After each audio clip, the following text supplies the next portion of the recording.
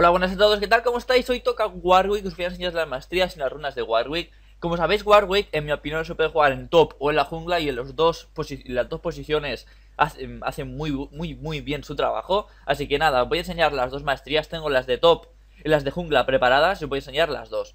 Así que nada, vamos con top. Empezamos por el ataque porque es más cortito. Hemos puesto un 4 en brujería para poder hacer la Q y la R más rápido y aquí para tener más daño simplemente.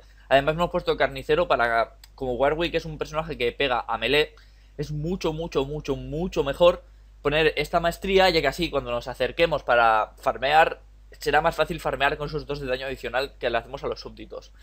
Por la parte de defensa os explico más o menos, he puesto lo de siempre esto, estos cuatro que siempre van muy bien para más armadura y más vida. Esto para aguantar más por la bonificación de armadura y resistencia mágica.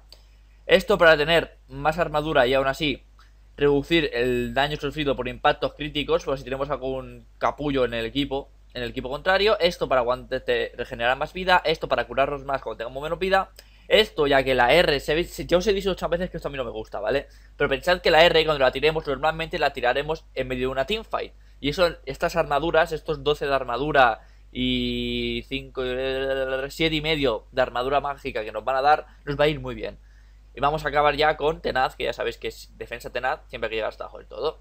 Esto por parte de top, ahora vamos por parte de la jungla, supongo que habré cambiado las runas también ahora mismo. Por parte de la jungla tenemos lo siguiente. Subimos esto ya que la jungla es fijo y más o menos es lo mismo. Quitando este, hacemos lo de la vida, más, más regeneración para aguantar los golpes críticos, más armadura para regenerar más vida y curarnos más cuando tengamos menos del 25% de vida y tenaz. Y por aquí sí que va a cambiar ponemos esto para correr más a la hora, de junglar mejor.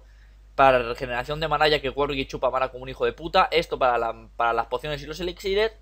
Esto para los enfriamientos de hechizos de invocador. Y para acabar, nos ponemos afinidad rúnica para que el bufo del rojo y del azul nos dure un poquito más.